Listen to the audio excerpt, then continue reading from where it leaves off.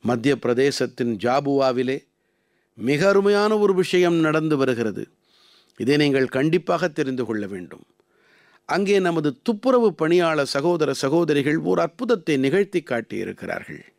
இந்த சகோதர சகோதரிகள் கழிவுப் பொருட்களிலிருந்து செல்வம் ஈட்டுதல் என்ற விஷயத்தை நிஜமாக்கி காட்டியிருக்கிறார்கள். இந்த குழுவானது ஜாபுவாவின் ஒரு பூங்காவில் சேரும் குப்பைகளை கொண்டு அற்புதமான கலைப்படைப்புகளை உருவாக்கியிருக்கின்றது.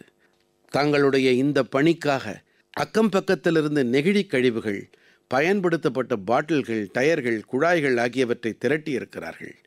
இந்த கலைப்படைப்புகளில் ஹெலிகாப்டர்கள் கார்கள் பீரங்கிகள் போன்றவை அடங்கும். அழகான தொங்கும் பூச்சட்டிகளையும் உருவாக்கியிருக்கின்றார்கள்.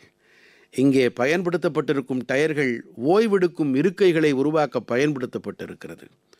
துப்புரவு பணியாளர்களின் இந்த குழு ரெடியூஸ் ரீயூஸ் ரீசைக்கிள் அதாவது குறைவாய் பயன்படுத்தி மீள் பயன்படுத்தி மறுசுழற்சி செய்தல் என்ற மந்திரத்தை தனதாக்கி கொண்டிருக்கிறது. இவர்களுடைய முயற்சிகளால் பூங்கா மிகவும் நேர்த்தியாக காட்சியளிக்கிறது. இதை காண வட்டார மக்களோடு சேர்ந்து அக்கம்பக்க மாவட்டங்களைச் சேர்ந்தவர்களும் வருகின்றார்கள்.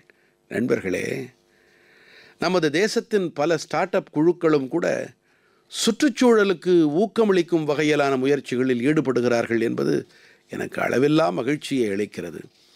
இ கான்ஷியஸ் என்ற பெயருடைய ஒரு குழுவானது நெகிழி கழிவுகளை பயன்படுத்தி சூழலுக்கு நேசமான பொருட்களை தயாரித்து வருகிறது. நமது சுற்றுலா தலங்கள் குறிப்பாக மலைப்பகுதிகளில் பரவியிருக்கும் குப்பை கூளங்களை பார்த்த பிறகுதான் இப்படி செய்வதற்கான எண்ணமே இவர்களுக்கு வந்ததாம். இப்படிப்பட்ட மனிதர்களின் மேலும் ஒரு குழுவானது ஈகோகாரி என்ற பெயருடைய ஒரு ஸ்டார்ட் அப்பை தொடங்கி இருக்கின்றது இந்த நெகிழி கழிவுகளை கொண்டு பல வகையான அழகான பொருட்களை தயாரிக்கின்றார்கள்.